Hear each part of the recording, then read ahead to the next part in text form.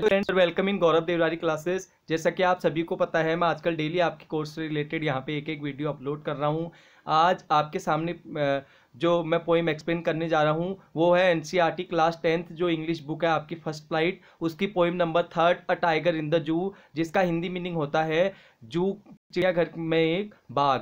तो इसका मैं आपको line by line Hindi translate करके बताऊँगा। आप लोग जुड़े रहिए मेरे चैनल के साथ और वीडियो को पूरा देखिए लास्ट तक। और अगर आपने अभी तक मेरे चैनल को सब्सक्राइब नहीं किया है तो इसे सब्सक्राइब कीजिए और शेयर कीजिए और इस वीडियो को लाइक कीजिए। तो स्टार्ट करते हैं a tiger in the zoo this poem contrast a tiger in the zoo with the tiger in its natural habitat the poem moves from the zoo to the jungle and back again to the zoo Read the poem silently once and say which stanzas speak about the tiger in the zoo and which ones speak about the tiger in the jungle. This poem contrasts a tiger in the zoo.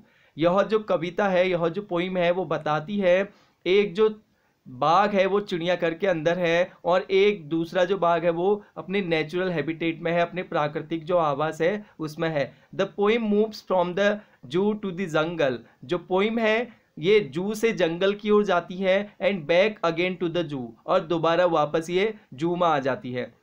Read the poem silently once एक बार इस poem को पढ़िए and say which stanzas speak about the tiger in the zoo और बताइए कि कौन से जो स्ट्रेंजाज हैं वो जू के अंदर एक टाइगर के बारे में बताते हैं and which ones speak about the tiger in the jungle और कौन सी जो आ, कौन सा जो स्टेंजा है वो एक ऐसे टाइगर के बारे में बताता है जो जंगल के अंदर है? तो ये हमारी पॉइम है। इसको इसके जो पॉइंट हैं वो है लेस्ली नॉरिस इसके पॉइंट हैं लेस्ली नॉरिस इस पॉइम के। तो स्टार्ट करते हैं। He stalks in his vivid stripes the few steps of his cage on pads of velvet quiet in his quiet rage He should be lurking in shadow, sliding through long grass near the water hole where plump deer pass. He should be snarling around houses at the jungle's edge, baring his white fangs, his claws, terrorizing the village. But he is locked in a concrete cell, his strength behind bars, stalking the length of his cage, ignoring visitors, He hears the last voice at night, the patrolling cars, and stares with his brilliant eyes at the brilliant stars.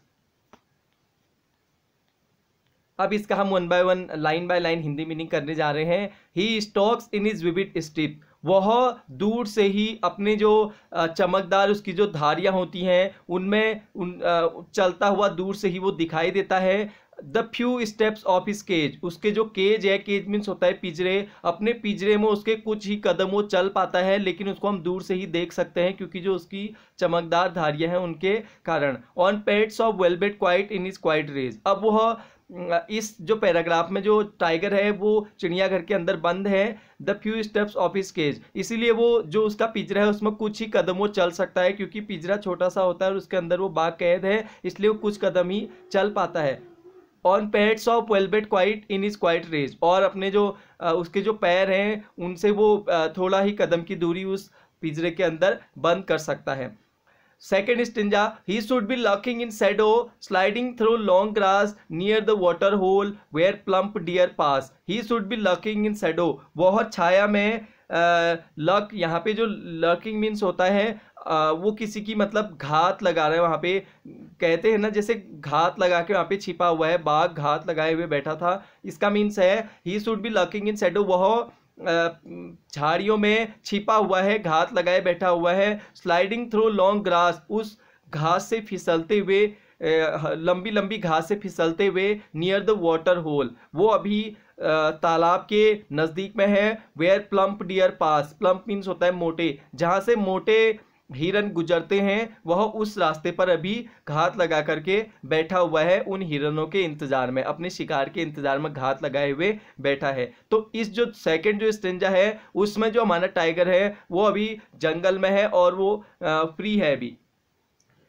Third जो है he should be snarling uh, around houses at the jungle's edge, bearing his white fangs, his claws, terrorizing the village. Third paragraph he should be snarling around houses वह घर के इधर उधर मकानों के इधर उधर घूम रहा है जो बाघ अगर जंगल में भी रहता है तो हम इसे नहीं कह सकते कि उसका जो इंसान है उनसे नाता टूट गया है। जो जंगली जो जानवर होते हैं वो कभी गाँव में भी घुस सकते हैं। गाँव की अपनी जो जंगल की सीमाएँ हैं वहाँ पे जा कर के गाँव के अंदर भी प्रवेश कर सकते हैं। तो यहाँ पे कह रहा है he should be snarling around houses तो जो बाघ है इस पैराग्राफ में वो आ, मकानों के, के इधर उधर घूम रहा है एट द जंगल्स एज जो मकान जंगल के किनारे पर बसे हुए हैं। Baring his white fangs his claws fangs means यहाँ पे होता है दांत। अपने जो नुकीले दांत हैं, उसके सफ़ेद नुकीले दांत हैं, उनको और अपने क्लॉज मीन्स होता है पंजे। उनको फैला रहा है, फैलाते हुए गुर्राता है टेरराइजिंग द विलेज और पूरे गाँव में उसने टेरराइजिंग मीन्स डराता है। अपने पूरे he should be snarling around houses वो मकानों के इधर उधर घूमता है। एट द जंगल्स एज जंगल के किनारे जो गाँव है उधर पे baring baring his white fangs his claws अपने जो सफ़ेद नुकीले दांत हैं उनको, उनसे और अपने जो पंजे हैं उनसे पूरे गाँव को डराता है।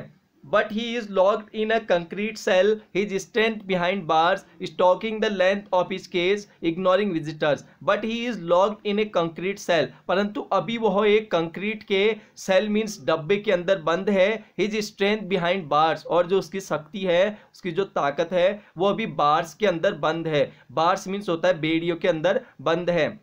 Stalking the length of his cage ignoring visitors वो अभी जो आ, अपने जो केज है पिजरा है उसकी लेंथ उतनी ही लेंथ में वो घूम सकता है इग्नोरिंग विजिटर्स और वो जो विजिटर्स वहाँ पे आ रहे हैं उसे देखने के लिए उनको इग्नोर करता है।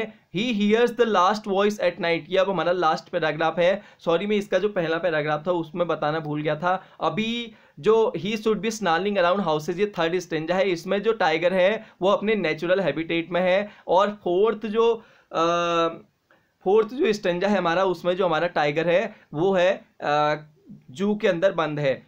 लास्ट स्टेंजा इसका है। He hears the last voice at night the patrolling cars and stares with his brilliant eyes at the brilliant stars he hears the last voice at night उसने जो लास्ट जो आवाज़ थी वो, उसने जो आवाज़ थी वो कल रात सुनी थी लास्ट जो अंतिम रात थी, उस रात को उसने आवाज़ सुनी थी द पेट्रोलिंग कार्स और वो जो कार थी, वो जो आवाज़ थी, वो उन जो पेट्रोलिंग कार्स जो मतलब वहाँ पे सुरक्षा कर्मी थे, उनके गाड़ियों की आवाज़ उसने सुनी थी, वो कल रात सुनी थी उसने लास्ट आवाज़ and stares with his brilliant eyes at the brilliant stars और वो उन ब्रिलियंट स्टार्स अपने जो चमकदार आँखें थी, उनसे रात में उन चमकदार तारों को देख रहा था। इस भरोसे से कि उसे नींद आ जाएगी, परंतु उसे नींद नहीं आई।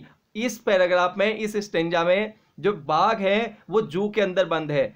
तो जू के अंदर बंद है, वो जो उसने जो आवाज़ थी, वो कल रात सुनी थी, लास्ट आवाज़, और अभी और रात में वो तारों को चमकते हुए, तारों को देखता है अपनी चमकीली आँखों से।